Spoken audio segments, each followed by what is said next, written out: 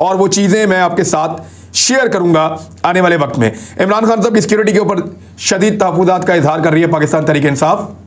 सबक वजर अजम को जिस लेवल की सिक्योरिटी दी जाती है और जिस लेवल के थ्रेट्स इमरान खान साहब को हैं, उस लेवल की सिक्योरिटी उनको फराम नहीं की गई और जो इदारे कानून नाफिज करने वाले हैं, वो अपनी ज़िम्मेदारी को समझें और जान लें इस बात को कि अगर इस बात, इस आदमी की तरफ़ किसी ने उंगली भी उठाई या कोई दहशतगर्दी का वाक़ हुआ या इस आदमी को कोई नुकसान हुआ तो फिर ये इस मुल्क के अंदर क्या होगा? आप सोच भी नहीं सकते।